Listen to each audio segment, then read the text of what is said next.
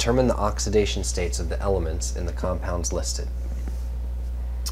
So remember, our oxidation state rules tell us that we know what hydrogen is and we know what oxygen is, except in a few instances. But hydrogen is always plus one, except with those few exceptions, and oxygen is almost always minus two. So if I have hydrogen um, is plus one, and there are three of them, and that gives me plus three from hydrogen. And oxygen there are four, and these are minus two, and that gives me minus eight from oxygen. So there's no charge on this compound because there's nothing over here as a subscript. So that means the charges have to cancel out. So if I have negative 8 and positive 3, what do I need to make this cancel? I need positive 5. So P must equal positive 5. Then I have plus 5 and plus 3 equals plus 8, and the oxygens give me minus 8. So P is plus 5, um, and oxygen and hydrogen, we usually know those. So let's look at this one, hydrogen. I have three hydrogens. So that's plus 3 again. We have three oxygens. Those are minus 2 each, so that's minus 6. So what is aluminum? If these have to be balanced, it must be plus 3. And I have plus 3 and plus 3 is plus 6. Plus 6 and minus 6 is 0. And there's no charge here, charge of 0. Alright, oxygen 2 times minus 2 equals minus 4. Selenium 1 must be plus 4. Right? Minus 4 plus 4 equals 0. There's no charge. K. Anything in the first column is plus 1. O. Oops, I'll do O down here. O. I have two of them times minus 2 equals minus 4. So N must be plus 3. plus 1 and plus 3 is plus 4. Plus 4 and minus 4 equals 0, the charge on this compound. All right, indium uh, sulfide. So sulfur is in this is in the same uh, column as oxygen, and when sulfur is in a compound with a metal, then it's going to be a negative 2 um, oxidation state, just like oxygen, because they're in the same, same column, then they have the same oxidation state. So sulfur is 3 times negative 2, negative 6. So indium, I have two of these. So they must be what in order to equal positive 6? If I have two of them, then they must be plus 3 each. So indium equals plus 3.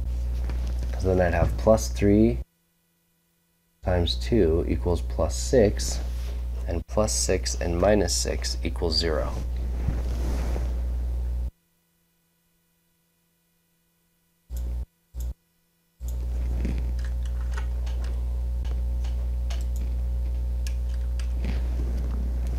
Indicate what type or types of reaction each of the following represents.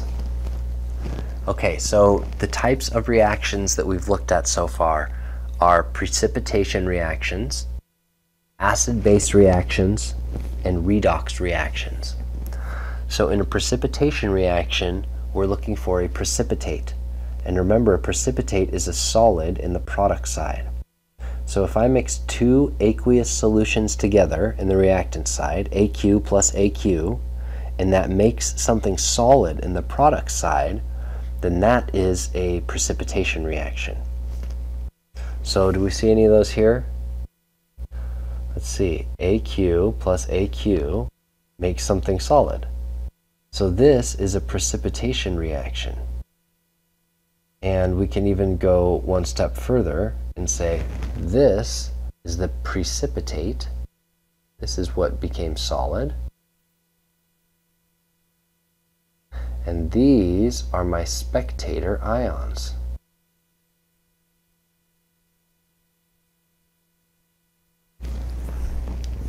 All right, so we've also looked at acid-base reactions. And an acid-base reaction is one that has an acid and a base, and they combine to make water. So remember, an acid is a compound that has an H in front of it, and a base is a compound that dissociates to make OH minus. So here, I see an H in front. This is an acid. And here is a compound with OH in it. This is a base. And here they've made water. So this is uh, from a neutralization reaction. So this is an acid-base reaction. All right, we've also looked at redox reactions.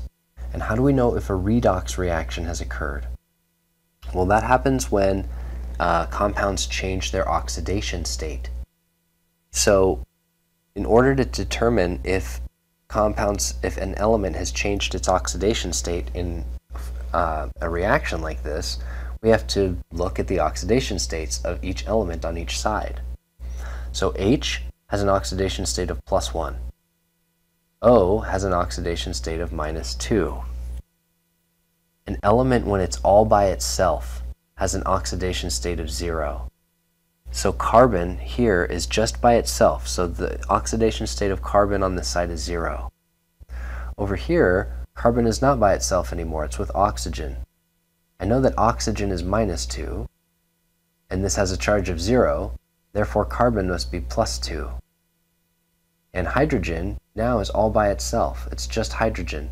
So if it's an element is all by itself, then it has an oxidation state of 0. So on this side, hydrogen was plus 1, and on this side, hydrogen is 0. On this side, carbon was 0, and on this side, carbon is plus 2. So in this reaction, elements have changed their oxidation state, and that only happens in a redox reaction. So this must be a redox reaction. A trick to locating a redox reaction is to find elements that are by themselves. Here's carbon all by itself. Here's hydrogen all by itself. If an element is by itself on one side of the reaction and it's not by itself on the other side of the reaction, then it must have changed oxidation states. And if that's true, then it must be a redox reaction. So let's look at this one. Here I have something that's a solid on this side and something that's a solid on this side. So sometimes when people see a solid in the product, they think, oh, this is a precipitation reaction. I've got a solid in the product, it must be precipitation. But that's not true if I started with a solid and then I have a solid over here. A precipitation reaction is where I have aqueous plus aqueous makes solid, not solid makes solid. So this is not a precipitation reaction. It's not an acid-base reaction because there's no acid. In this one, again, remember a good trick to locate a redox reaction is to um, identify elements that are all by themselves. Here's O2 gas all by itself, just an element by itself. That means that its oxidation state right here is zero, and its oxidation state on this side is negative two. So it changed oxidation states, so it must be a redox reaction. So on these redox reactions, we can also say which element was oxidized and which element was reduced. So hydrogen goes from plus 1 to 0. So hydrogen was reduced. When um, an oxidation number goes down, then we say that that's reduced. Carbon went from 0 to plus 2. If an oxidation number goes up, then we say that that element was oxidized. So let's look at this one. Oxygen went from negative 2 to 0. So oxygen was oxidized. What was reduced in this one? Well, if we uh, try to figure out what chlorine is, here oxygen is negative 2 and I have 3 of them. So that gives me negative 6 altogether. Um, potassium is plus 1. So if this is a neutral compound and there's no charge, then that means that chlorine must be plus 5 on this side. And what's chlorine on this side? Well, if potassium is plus 1, then chlorine is minus 1. So chlorine went from plus 5 to minus 1. So chlorine was reduced.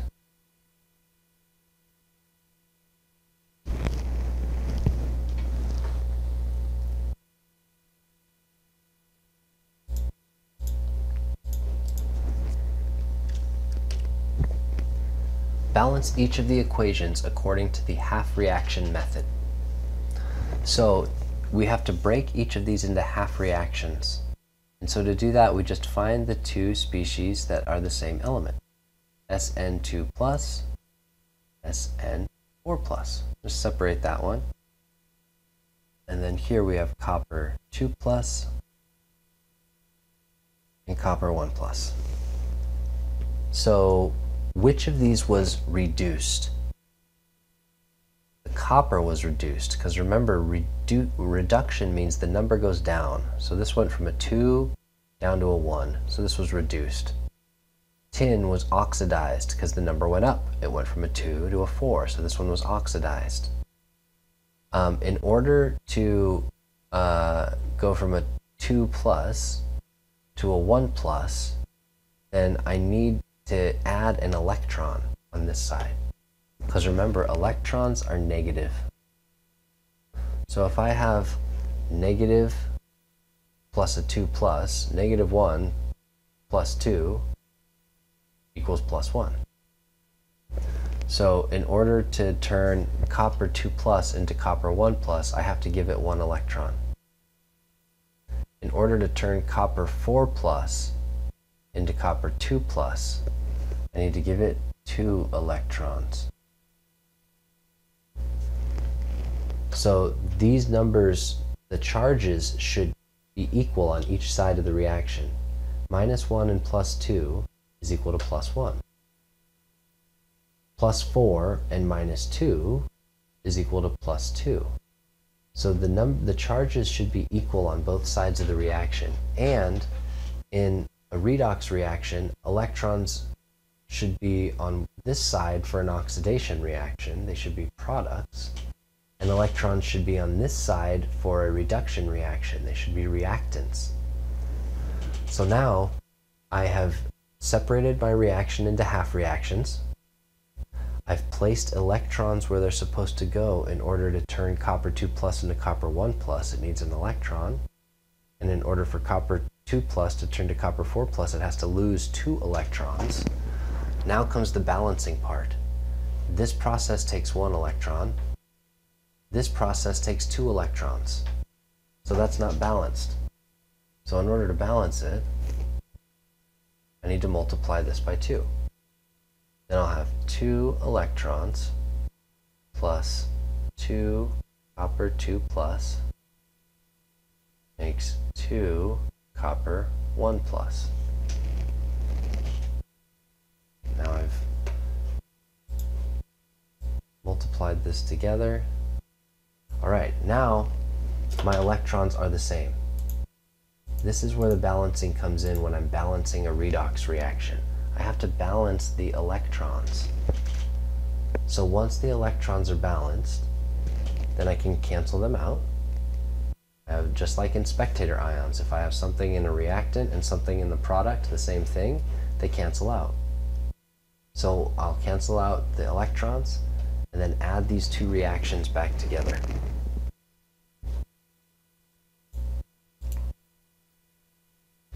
Then I get SN2 plus plus 2 copper 2 plus makes SN4 plus plus 2 copper 1 plus. So in order to balance a redox reaction, I am not just balancing the elements because if I look at this reaction, the elements are already balanced. I have one tin on this side and I have one tin on this side. I have one copper on this side and one copper on this side. They're already balanced.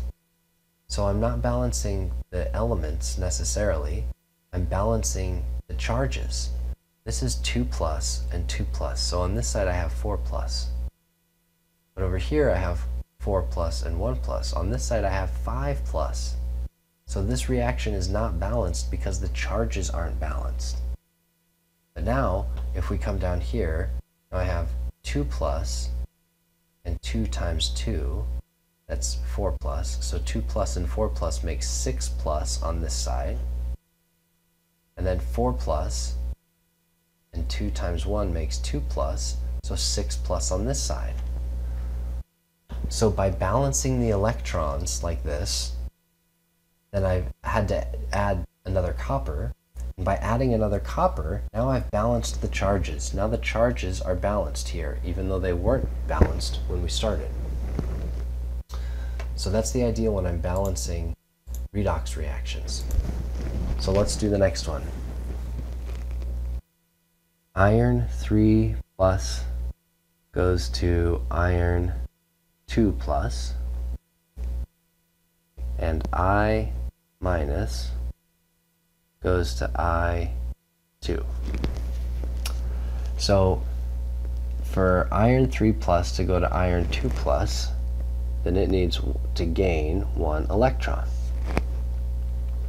Here, this is I1 minus, and I here, since this is iodine all by itself, and it doesn't have a charge, then this has an oxidation state of zero. All elements when they're by themselves have oxidation states of zero. So in order for, uh, well first of all, let's recognize that I have two iodine atoms on this side and only one iodine atom on this side. So I need to balance the atoms first. Now that I've balanced the atoms, now I can start to worry about the charge. So if I have an iodine atom here, two iodine atoms, each of them are at zero, and over here I have two iodine atoms, each of them are at minus 1. Then that means I need two electrons to take 0 down to negative 1. So the electrons aren't balanced, so to balance them I have to multiply this top equation by 2 because then I'll have two electrons on top and two electrons on bottom. So when I do that I'll get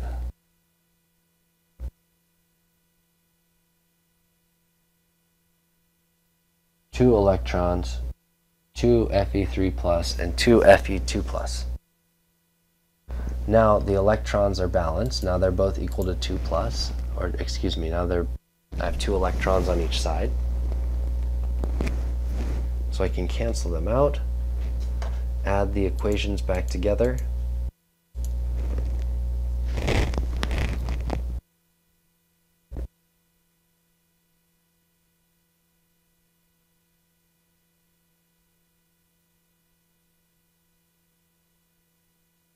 And now let's check to make sure that the charges are balanced. 2, 3 plus makes 6 plus altogether. 6 plus. And 2 minus here for a total charge of 4 plus on this side. 2 times 2 gives me 4 plus here plus 0 for a total charge of 4 plus on this side. So now this equation is balanced.